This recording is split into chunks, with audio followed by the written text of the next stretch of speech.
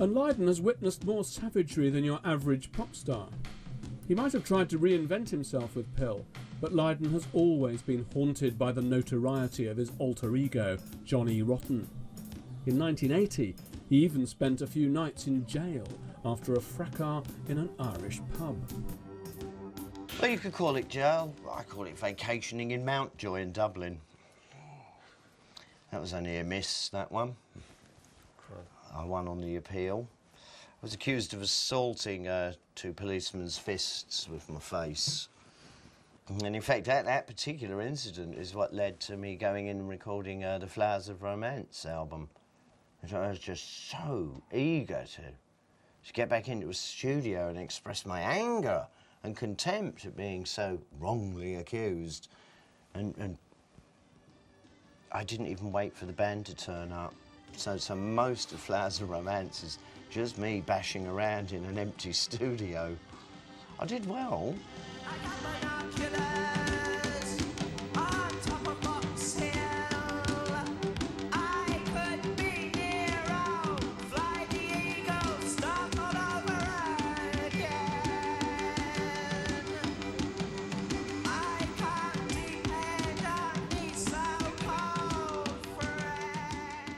By the early 80s, Lydon felt increasingly that he could no longer live in Britain. He was subjected to repeated police raids. It was relentless and continual and just did not stop. Just twice a week, raided wherever I'd be, smash everything up and have a good laugh at my expense. Um, I'd had enough of that. No, I didn't like uh, turn tail and run. I just found it really kind of futile. We couldn't get any uh, venues or gigs uh, as PiL at that time in England. So we just kind of sort of sauntered off to New York, rented a, a very cheap apartment, and would just travel off in a, a transit van to Pennsylvania one night, New Jersey the next, go up and down the coast.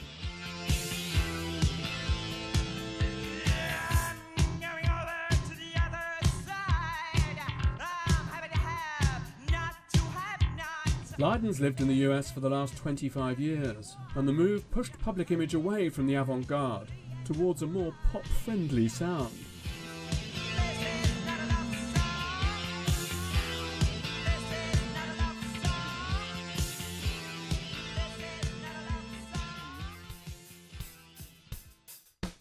How would the culture show like a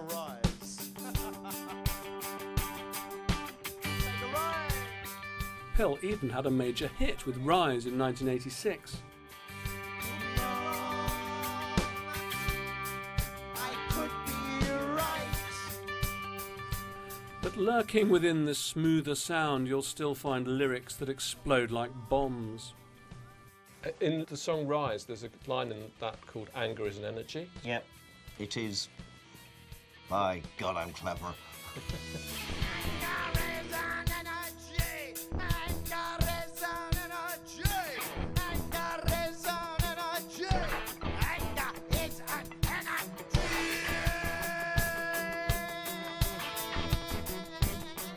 Is that a credo? I mean, that seems to Yes, it, it, it, if anything, it's in opposition to violence, which I don't ever think solves anything ultimately. This is when, like, um, Gandhi has always impressed me with that, with that, that idea of, of um, passive resistance. What a marvellous scheme to come up with, and it, and it did work.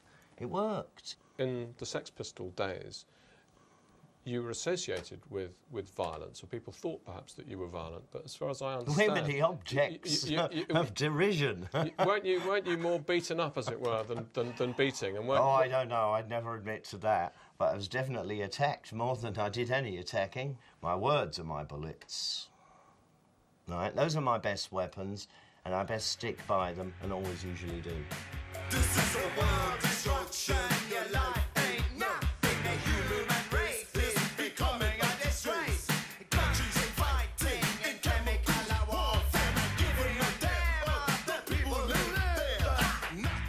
Whatever style of music Lydon turns his hands to, his vocals remain raw and untamed.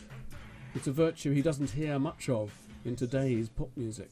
You can hear no end of uh, electronic trickery on many, many vocals now on records, and that just like uh, at first it amused me. Now, now it just really outright offends me because it's so fake. It's so wrong. Y- You're listening to Toy Town robots. I'm not auto-tuned. I don't have an auto-tuner. When I hit a bum note, it's it's deliberately I hope. Sometimes it's not. but it is what it is. And you and you gotta live by it and you gotta sink or swim by it. As long as I keep keep rigid to, to uh, my, my sense of values, if I, if I believe in any rigidity in life at all, um, my, my sense of values and the honesty of the song therein, I cannot go wrong. My ears are not closed, not to no one ever and uh, and so you, you're constantly aware of, of other approaches to things. It's very very useful to keep an open mind. Do you ever listen to classical music? I mean, as in Stockhausen and people like that. Do you, is, yes, is that part of your? yes. Mozart, love, just God, Requiem and all That's my favourite, I think, piece of music, along with a few other pieces. But Requiem by Mozart is just stunning. Stunning piece of work, and and that's apparently unfinished. Well, you know, you have to wait till you die before you get the finale. it's, it's, it's terrifically powerful stuff. While Lydon cuddles up to Amadeus, it seems every band and musician of the last 30 years have been listening to him. He's one of the few artists to have shaped both rock and dance music.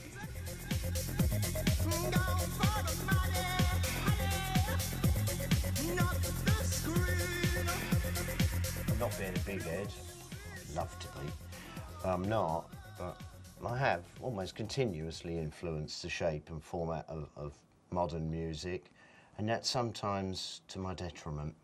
Have you ever been annoyed by it? I mean, have you have you ever sort of listened to Oasis Sometimes. singing and thinking, "Hang on, that bloke's Well, no, singing that- just like me"? Yeah, well, that, that struck me at first as quite nice. I thought the song, uh, was it Rockstar? oh, hang on. but I kind of see the fun in it, and it's all right. I mean, well done. It took me, what, nearly 30 years to get that kind of singing acceptable.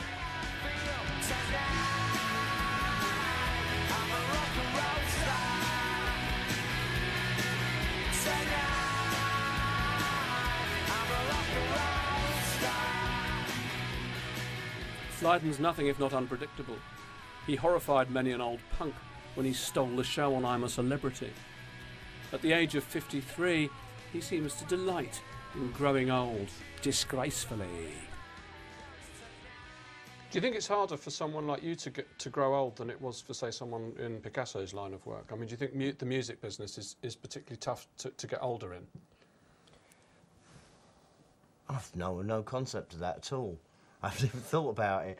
Uh, Pete Townshend wrote that ridiculous line, Hope I die before I get old. I mean, I've told him many a time, aren't you sorry now? All right? It's this, this love of youth and youth only. I mean, you know, getting while they're young, by all means, but I don't mean perpetually stay young. It's, it's teen, teen years. It's, al- it's almost like a a state of ultimate stupidity, really. You can make the most vital mistakes in your life at that point. I don't know how, but I think I did really quite well, and I trotted through the teen years and, and came out, you know, waving great big flags and shouting and screaming. Unfortunately, a lot of people have followed them flags. Rather than appreciate what I've done, they end up trying to imitate or utterly completely dismiss. And both of those causes are wrong. But you were only 19 when you wasn't, wasn't that right? You were 19 when you were in the Sex Pistols. 18. 18, 19, yeah. yeah. Right. Yeah. I What- often thought 17 because it was such a bad memory. But if you met Johnny Rotten coming down the street today, what would you say to him? What a concept to meet yourself. I almost did once um, at the uh, the Rock Circus when they did that uh, wax dummy of me. Whatever you think you are, you ain't. you ain't.